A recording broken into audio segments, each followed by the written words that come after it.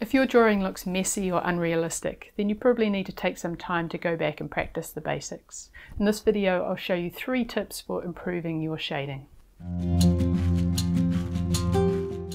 Hi, I'm Emily from the Pencil Room Online, bringing you quality drawing tips and tutorials. You can check out my more in-depth classes on Skillshare via the link in the description below. I'm going to be using an HB pencil for this exercise. You could check out my other video on different pencil grades if you're interested in what the HB means. So my first tip is pencil grip, so the way that you hold your pencil. So this is the way that we traditionally learn how to hold a pencil. We learn this way at school and I can shade okay using my pencil this way. If you've watched other YouTube videos, you may sometimes see artists holding their pencil this way with an overhand grip. And this is a really good way to shade because you can control the pressure a little bit more. You can just rest the pencil on the paper, move it back and forth with a nice even steady motion. You can even use a finger as a guide down here if you need to. Some students struggle with this. It's quite an unnatural position if you're used to drawing this way. Another way that you could get the benefits of that overhand shading technique but without changing your grip too much, is just to hold the pencil a little bit further up towards the top of the pencil. Gives you a little bit more room to move, so you can kind of flick your pencil back and forward and get that rhythm going and get a nice even coating of graphite on the paper.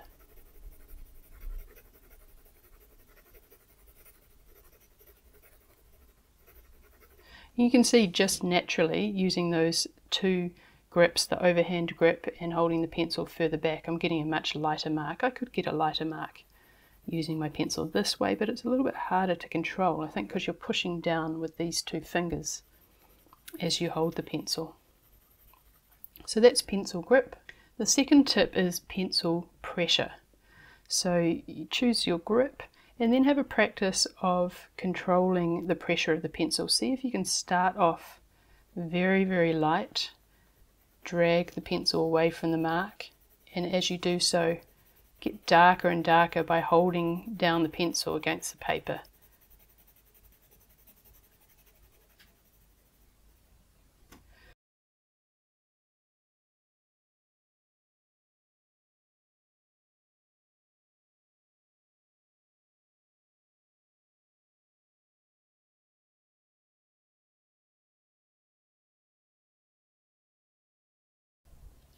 So starting very light and increasing the pressure as you go and you'll see that reflected in the tone of your pencil. We're trying to get a very gradual increase of pressure and a very gradual increase of tone from light to dark. And you could try that with the different grips. This traditional grip, it's a little bit harder to move your hand back because it's stuck on the paper. Whereas this way um, you don't have quite so much of your hand pushing against the paper. You try the overhand grip as well. Very, very light.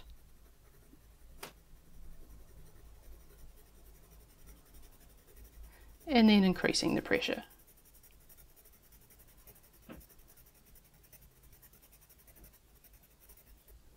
My third tip is pencil movement. So quite often when people shade, they'll use the side-to-side movement.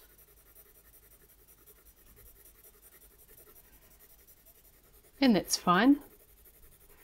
It's really useful for flat planes, so if you're drawing, shading a building or a cube. I'm using the pencil slightly on the side so I get that nice soft mark. I could do the same thing with the pencil on its tip. And you see you start to get um, a more linear mark, you get some gaps showing through. It's a bit harder to avoid those. And if you're drawing something that is rounded, like a sphere, or has curves like a person's face, this is going to change the surface. We don't want the surface of a person's face to appear flat. So another way you could use your pencil or move your pencil is in very small circles.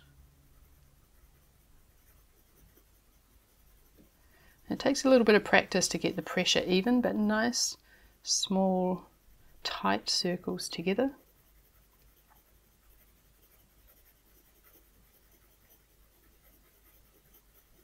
And that will eliminate those lines or those gaps of white showing through you keep going back over top of what you've done. Still controlling the pressure so the pencil's just resting on the paper.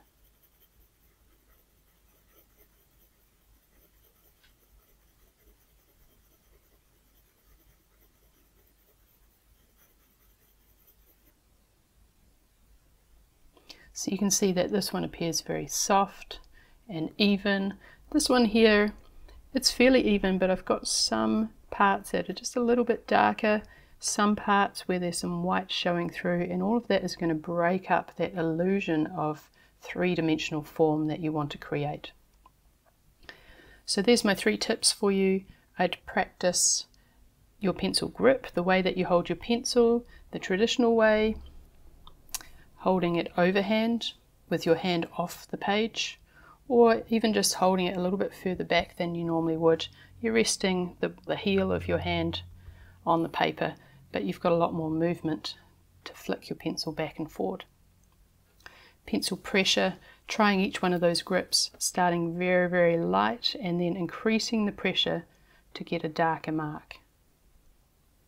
And then the movement of your pencil as you shade. So rather than back and forth, side to side, which is going to create a flat plane, a flat surface, using small circular motions to get a nice even balanced tone without any linear marks.